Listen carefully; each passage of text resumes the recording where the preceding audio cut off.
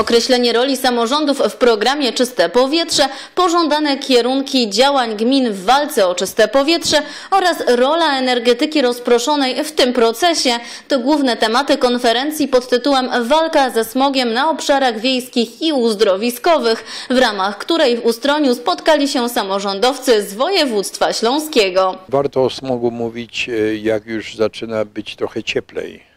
Właśnie wtedy powinniśmy pomyśleć o wymianie pieców, bo nam się wydaje, że smog nam już nie grozi, bo ludzie przestali ogrzewać, e, czujemy świeże powietrze, idzie wiosna i zapominamy o tym, że przez całe miesiące zimowe, przez 4-5 miesięcy e, dosłownie truliśmy się e, bardzo wysokim stężeniem gazów bardzo groźnych, pyłów w powietrzu, także w małych miejscowościach. W miejscowościach wypoczynkowych też to jest aktualne. Mamy takie informacje na przykład z Ciechocinka. Tutaj jesteśmy w pięknych miejscowościach podgórskich i też istnieje ten problem.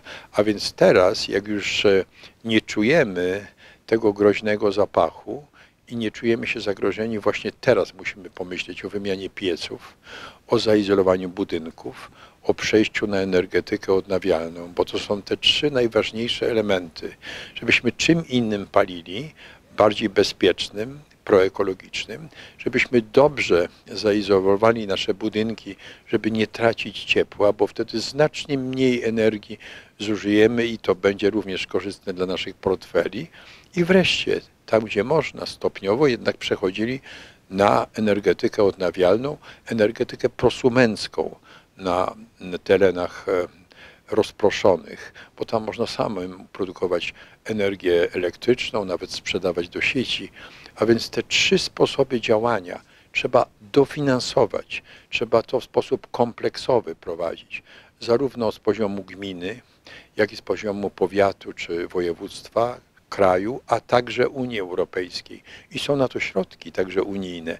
Po to tu jesteśmy, żeby powiedzieć, jak sprząc te sposoby działania, w jaki sposób wpłynąć na to, żebyśmy w, przyszłe, w czasie przyszłej zimy, już za 6-7 miesięcy, kiedy ponownie wrócimy do palenia w piecach, żebyśmy jednak mieli znacznie lepsze powietrze. W ramach konferencji został zaprezentowany raport pod tytułem Wykorzystanie potencjału odnawialnych źródeł energii w walce ze smogiem na obszarach wiejskich. Jest raport, który mówi o tym, w jaki sposób właściwie brak takiej ścisłej współpracy pomiędzy samorządem gminnym, powiatowym, a poziomem krajowym, bo nie wystarczy mieć e, e, plany i zamiary krajowe, jeśli nie włączy się w to samorządów, jeśli się nie sfinansuje potrzeb samorządów w tym zakresie, to bardzo trudno trafić do obywateli. Jednak ten szczebel gminny znowu się okazuje, że jest podstawowy, jeśli chcemy wyjść z naszych problemów. Podczas konferencji miała miejsce szczególna uroczystość.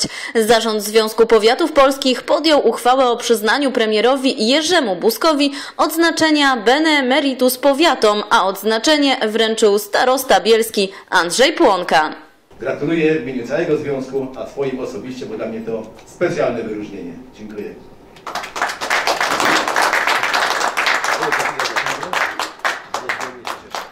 Bardzo, bardzo dziękuję. Skromne, ale bardzo wymowne. Piękne, piękne. Proszę zobaczyć, jaka, jaka piękna mapa Polski. Pogratulujmy jeszcze raz i podziękujmy za całą pracę, którą Pan Premier wnosi nie tylko tutaj na tej naszej mapie krajowej, ale również yy, międzynarodowej Tak dla Polski, dla samorządności, dla rozwoju, no i dla naszych mieszkańców, przecież to temu służy, a dzisiejsza konferencja przecież o tym mówi. Dopełnieniem konferencji była wystawa pod hasłem Stop Smog. Artyści odpowiedzieli gremialnie na propozycje, aby mm, przygotować pracę, wszystkie o tym samym wymiarze. E, Na taką wystawę to dojrzali artyści e, z terenu województwa śląskiego. Mamy w sumie około 50 prac. Tu wystawiamy część z nich. Wystawa miała swój wernisaż w Brukseli. E, Dzisiaj także będzie można ją oglądać.